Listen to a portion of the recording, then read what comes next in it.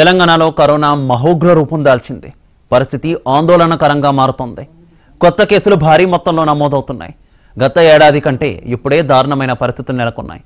గడిచిన ఇరవై నాలుగు గంటల్లో మూడు వేల ఎనిమిది వందల నలభై కరోనా పాజిటివ్ కేసులు నిర్ధారణ అయ్యాయి పదకొండు వందల తొంభై ఎనిమిది మంది కోలుకోగా మరో తొమ్మిది మంది మరణించారు. తెలంగాణలో ఇప్పటివరకు మూడు లక్షల ఎనభై ఐదు వేల కరోనా పాజిటివ్ కేసులు నమోదయ్యాయి. ఇందులో మూడు లక్షల పదివేల మంది కోలుకున్నారు. ఇప్పటివరకు ఒక వెయ్యి నూట తొంభై ఎనిమిది మంది చనిపోయారు.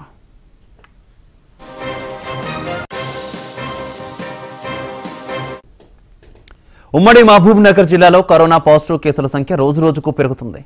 ఉమ్మడి జిల్లాలో నిన్న ఒక్కరోజే ఎనిమిది వందల ముప్పై కేసులు నమోదయ్యాయి. దీంతో జిల్లా వ్యాప్తంగా వైద్య శాఖ అధికారులు అప్రమత్తమయ్యారు.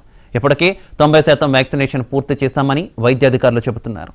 జిల్లాలోని ప్రైవేట్ ఆసుపత్రులు కూడా కరోనా చికిత్సలు చేయాలంటూ ప్రభుత్వం ఆదేశాలు జారీ చేస్తారంటున్న जिला deputy DM and HO Shashikant तो प्रतिनिधि हरिशंकर फेस टू फेस ఉమ్మడి పాలమూరు జిల్లా వ్యాప్తంగా కరోనా సెకండ్ వేవ్ వేగంగా విస్తరిస్తుంది. రోజు రోజుకి కరోనా పాజిటివ్ కేసులు పెరుగుతున్న నేపథ్యంలో ఇప్పటికే వైద్య శాఖ అధికారులందరూ కూడా అప్రమత్తమైన పరిస్థితి ఉంది.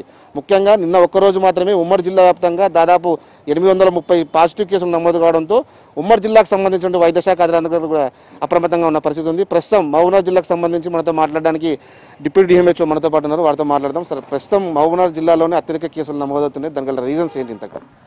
ఇప్పుడు చూస్తుంటే చాలా మటుకు మనం అర్బన్ ఏరియాలో ఏవైతే ఉన్నాయో కేసెస్ చాలా మటుకు పెరుగుతున్నాయి. దీనికి మెయిన్ కారణం ఏంటంటే చాలామంది బయట నుండి రావడం అంటే అంటే పక్క హైదరాబాద్లో నుండి కానివ్వండి లేకుంటే మహారాష్ట్ర నుంచి కానివ్వండి కర్ణాటక నుండి అండి ఇంకోటి ఏంటంటే మన పక్క రాష్ట్రాలు స్పెషల్లీ మహారాష్ట్ర ఆంధ్ర అండ్ కర్ణాటకలో కేసెస్ చాలా పెరిగి వాళ్ళ పే- వాళ్ళకు పేషెంట్స్కి అకామిడేషన్ దొరకకుండా దొరకకపోవడం వల్ల ఇక్కడికి హైదరాబాద్కి వచ్చేసి వాళ్ళు చాలామంది ట్రీట్మెంట్ తీసుకుంటున్నారు. దానివల్ల కూడా ఒకరి నుండి ఒకరికి స్ప్రెడ్ అయ్యే ఛాన్సెస్ ఎక్కువ ఉన్నాయి కాబట్టి మనకు కూడా ఇక్కడ కేసెస్ వస్తున్నాయి ఈ మధ్యలో ఇక్కడ. వాళ్ళు వచ్చి టెస్ట్ చేసుకుంటున్నారు ఇక్కడ. ప్రస్తుతం వ్యాక్సినేషన్ ప్రక్రియ ఏ విధంగా కొనసాగుతుంది సార్ మహబూబ్నగర్ జిల్లాలో? అసలు ఎంతమందికి ఫస్ట్ డోస్ కంప్లీట్ అయింది ఎంతమందికి సెకండ్ డోస్ కంప్లీట్ అయింది? మొత్తం మీద ఓవరాల్గా జిల్లా వ్యాప్తంగా ఎన్ని కేసులకి ఇప్పుడు ఎంతమందికి మనము వ్యాక్సినేషన్ అందించాము? ఇప్పటి వరకు అయితే మనకు ఫస్ట్ స్టార్టింగ్లో మనకు పెద్ద రెస్పాన్స్ రాలేదు. ఎంత అంటే sixty years above senior citizens ఎవరైతే ఉన్నారో వాళ్ళకు కూడా వ్యాక్సినేషన్ తీసుకోమని చెప్పడం వల్ల వాళ్ళు రాకపోవడం. దాని తర్వాత తర్వాత సడలింపు ఇచ్చేసి ఫార్టీ ఫైవ్ ఇయర్స్ పైన ఎవరైతే ఉన్నారో వాళ్ళకి అందరికీ తీసుకోమని చెప్పడం. కాకపోతే ఏంటంటారంటే ఇప్పుడు కేసులు పెరగడం వల్ల చాలా మటుకు ఇప్పుడు ఫస్ట్ డోసెస్ కేసెస్ ఎక్కువ పెరుగుతున్నాయండి. ఇప్పుడు దాదాపు ఈ రోజు వరకు అంటే నిన్నటి వరకు రిపోర్ట్స్ ప్రకారం thirty six thousand six hundred and ninety eight cases వరకు పేషెంట్స్కి మనము ఫస్ట్ డోస్ వ్యాక్సినేషన్ ఇచ్చినాము.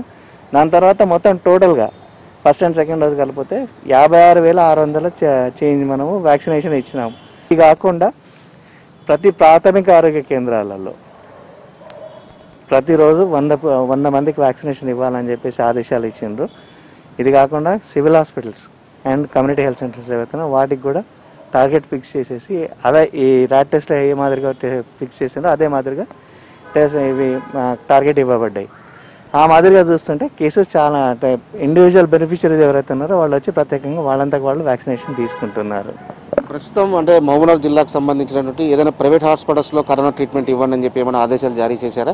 ఒకవేళ వాళ్ళు ఒకవేళ ట్రీట్మెంట్ ఇస్తే దానికి సంబంధించినటువంటి రేట్స్ కానీ గవర్నమెంట్ గైడ్లైన్స్ ఏ విధంగా ఉంది సార్ ఇంత గవర్నమెంట్ ఆల్రెడీ అందరికి ప్రైవేట్ హాస్పిటల్స్ ట్వంటీ బెడెడ్ పైన ఎవరైతే హాస్పిటల్స్ ఉన్నాయో వాళ్ళకి ఆల్రెడీ అంటే లాగిన్ క్రెడెన్షియల్స్ ఇచ్చేసి వాళ్ళకు వా- అంటే పేషెంట్స్ ఎవరైతే ఉన్నారు కోవిడ్ పేషెంట్స్ వాళ్ళకి ట్రీట్మెంట్ ఇవ్వమని చెప్పేసి ఆదేశాలు ఇచ్చింది.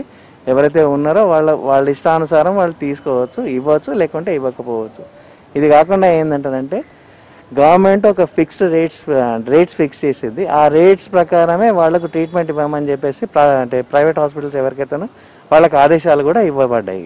ప్రస్తుతం అంటే మనకు పాజిటివ్ వచ్చిన పేషెంట్స్కి ఐసోలేషన్లో కానీ హోమ్ హోమ్ క్వారంటైన్ ఉన్న వాళ్ళకి కానీ ఎటువంటి ట్రీట్మెంట్ ఇస్తున్నారు సార్ మన హాస్పిటల్ ఉన్న వాళ్ళకైతే ప్రత్యేకంగా ఆక్సిజన్ బెడ్స్ మన దగ్గర ప్రత్యేకంగా స్పెషలీ కోవిడ్ హాస్పిటల్ అంటే వార్డ్ అని చెప్పేసి ఏర్పడ్డది. దానికి one fifty beds with oxygen and sixty ventilators దాదాపు సిక్స్టీ వెంటిలేటర్స్ ఉన్నాయి కాబట్టి మనము మహబూబ్నగర్ జిల్లా వరకు అంటే సెక్యూర్గానే ఉన్నాము అండ్ ట్రీట్మెంట్ ఇవ్వడానికి కూడా రెడీగా ఉన్నాము.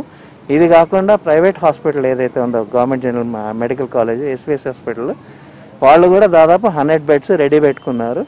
ఎవరైతే ఉన్నారో అంటే పేషెంట్స్ ఎవరైతే రా వస్తారో వాళ్ళకి ట్రీట్మెంట్ ఇవ్వడం జరగడం ప్లస్ కోవిడ్ కేర్ సెంటర్ అని చెప్పి కూడా ఎస్పీఎస్ హాస్పిటల్కి ఐడెంటిఫై చేసింది ఇది మొత్తానికి ఉమ్మడి జిల్లా వ్యాప్తంగా ఉన్నటువంటి పరిస్థితి. మొత్తం మీద ఉమ్మడి జిల్లా వ్యాప్తంగా రోజు రోజుకి కరోనా పాజిటివ్ కేసులు పెరుగుతున్న నేపథ్యంలో ఇప్పటికే జిల్లా వైద్య శాఖ అధికారులు అప్రమత్తంగా ఉన్నారని చెప్తున్నారు. ఏది ఏమైనప్పటికీ ప్రతి ఒక్కరు ఖచ్చితంగా మాస్క్ ధరించాలి భౌతిక దూరం పాటిస్తూ తమ పనులను పూర్తి చేసుకోవాలని చెప్పి కూడా ఆ, అధికారులు సూచిస్తున్న పరిస్థితి. కెమెరామెన్ కిరణ్తో హరిశంకర్ మహాన్యూస్ మహబూబ్నగర్ నుంచి. కరీంనగర్లో కరోనా తీవ్రంగా విస్తరి